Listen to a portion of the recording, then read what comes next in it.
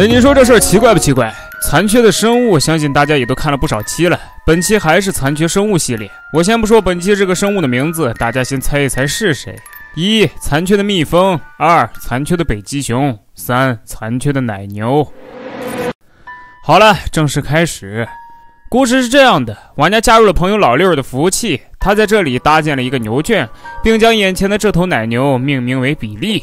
很快，老八和老六就来参观玩家搭建的牛圈。并和玩家讨论了这头叫做比利的奶牛今后的命运是清蒸还是红烧，或者，啊，死贵。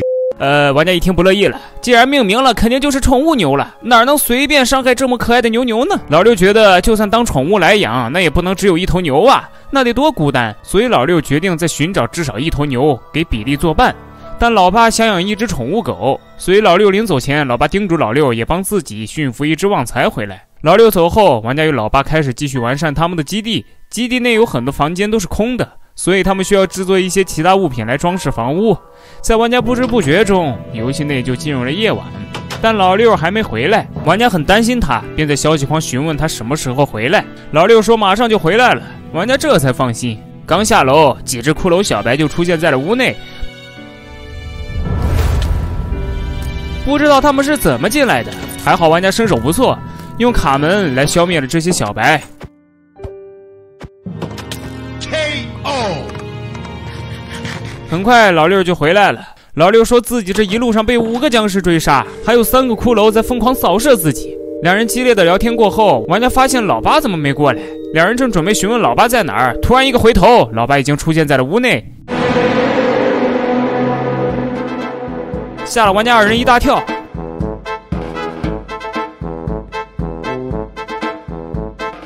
好了，玩笑也开的差不多了，也该入睡了。但是到目前为止，住所内连一张床都没有。主要是因为玩家三人所处的区域附近很难找到动物，那都被玩家当做宠物的牛也是找了好久才找到的，所以这是一个不正常的现象。只是玩家三人还没有意识到，这么大的 MC 世界为什么找不到其他动物，而恰好能找到一头奶牛。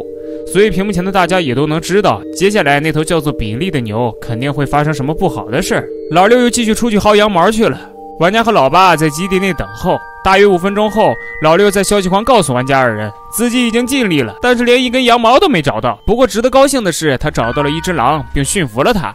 老八听后很开心，因为他很想养一只宠物狗。老八趁着老六离开服务器的这段时间，偷偷把这只旺财命名为自己喜欢的名字。等老六回来的时候，嘿嘿。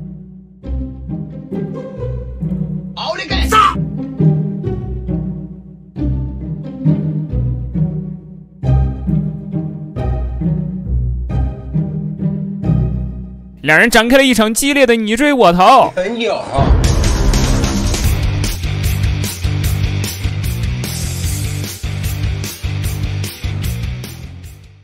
不过，这样开心的时光没有持续多久，很快又一个夜晚到了。由于没有床，所以三人只能静静的等待着天亮。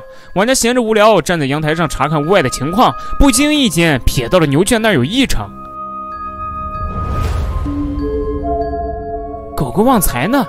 好像就是没了。玩家又专门跑下来查看了一番，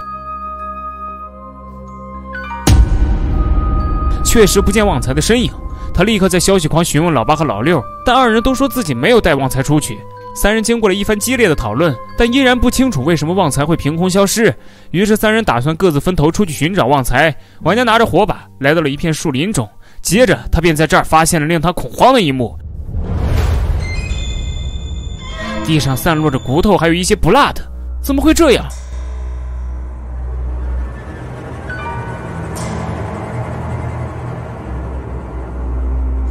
玩家已经吓得不知所措，他想让老八和老六过来看看，但老八和老六听到这么诡异的现象，都吓得不敢来。他们让玩家赶快离开那儿。玩家正想往回赶，可下一秒，前方出现了一个身影。放大视野后，那竟是旺财。只见他开始朝着玩家奔来，玩家吓得赶快调转身躯逃跑。这到底是怎么回事？旺财怎么突然兽性大发了？待玩家跑到基地时，老八和老六已经做好了准备，他们都拿出了盾牌和武器，开始攻击旺财。玩家被吓得站在住所内，腿都软了。更加诡异的是，旺财的生命值感觉很多的样子。老八和老六攻击了好一会儿，才解决掉他。玩家玩了这么长时间的麦块，第一次遇到这么离谱的事儿。三人在屋内又一番激烈的讨论后，便打算去牛圈看看比利。结果比利也消失了。三人都在屋内，所以不可能是他们其中一个人放走了比利。那么比利又怎么会自己逃出栅栏呢？老六觉得有必要三个人好好坐下一起开个会了。